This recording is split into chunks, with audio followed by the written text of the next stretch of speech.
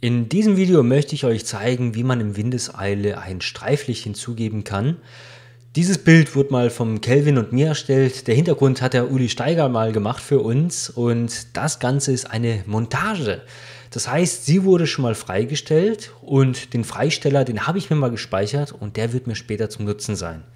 Ich blende mal hier die ganzen Ordner aus, damit ihr mal seht, wie das Bild aus der Kamera kam. Das war die Dame, dann kam irgendwann mal der Hintergrund mit diesen Lichtstrahlen von hinten und dann auch die Dame. Aber gerade dieser Schritt hier, dieser Ordner, der ist gerade ganz entscheidend. Wenn ich den mal aufmache und gehe mal ein kleines bisschen weiter runter, habe ich hier einen Ordner, der heißt Lichtperson. Ich deaktiviere den mal und ihr seht, die Stimmung ist komplett anders. Es ist völlig anders wie vorher. Äh, die Person sieht jetzt regelrecht rein montiert aus. Gut, wir haben zwar die Spiegelung, aber dieses intensive Licht von hinten äh, und sie im Vordergrund, es passt einfach nicht. Aus diesem Grund haben wir uns dafür entschieden, ein Streiflicht hereinzubringen. Ich aktiviere es gerade mal. Wie ich in Windeseile ein Streiflicht gemacht habe, das zeige ich euch gleich mal. Ich blende das hier gerade mal aus und ja, wir gehen mal ganz nach oben.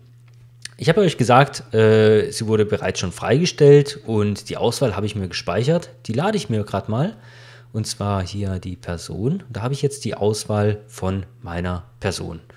Gut, ich erstelle mir jetzt hier eine neue Ebene und sage hier neue Füllebene Farbfläche und das ist jetzt mein Streiflichtkontur.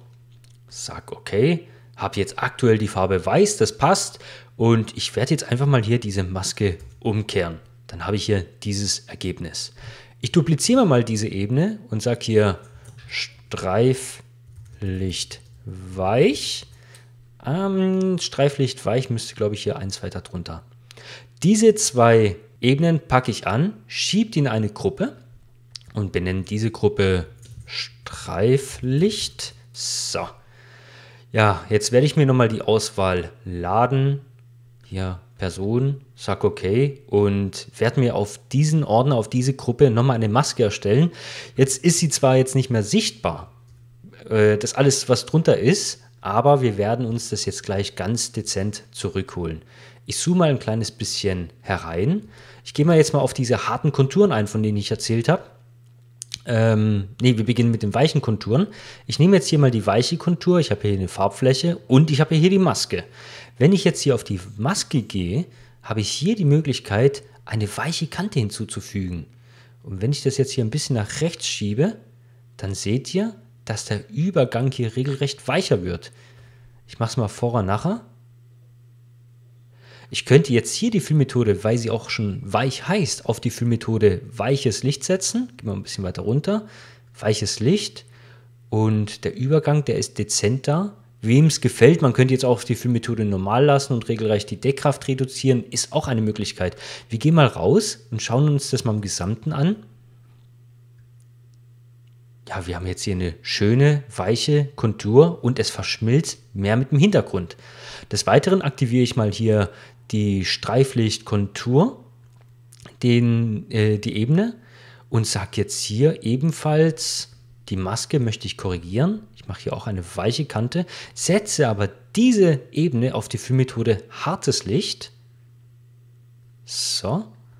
Und gehe jetzt mal ein bisschen so, und jetzt bekomme ich hier eine schöne harte Kante. Das hat den Vorteil, ich habe an der Person eine schöne harte Kontur, ganz dezent, aber dennoch einen schönen weichen Übergang hier. Ich mache mal die harte Kontur weg.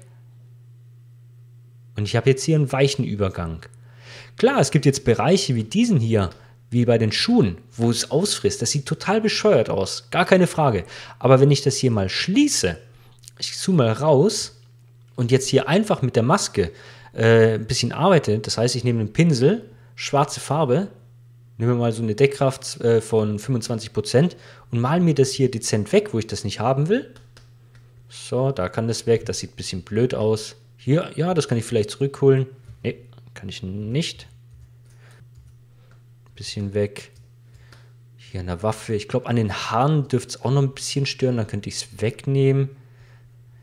So, aber schauen wir mal unser Ergebnis an. Ich mache mal den kompletten Ordner Streiflicht. Es verschmilzt schon wesentlich mehr mit der Person und wir haben hier relativ schnell ähm, ein Streiflicht hinzugegeben. Ich könnte jetzt hier auch sagen, Die weiche Kontur könnten wir noch weicher zeichnen, dann geht es noch mehr rein. Ich gehe mal raus, dann schauen wir es uns mal so an. Ist auch eine Möglichkeit. Ich könnte es jetzt hier im Gesicht, wenn es mir da zu viel ist, da auch wieder oben rausmaskieren. Aber das hier, das hier sorgt dafür, dass das Bild noch mehr verschmilzt und mit diesem Effekt sieht das ganze Bild wesentlich interessanter und auch spektakulärer aus.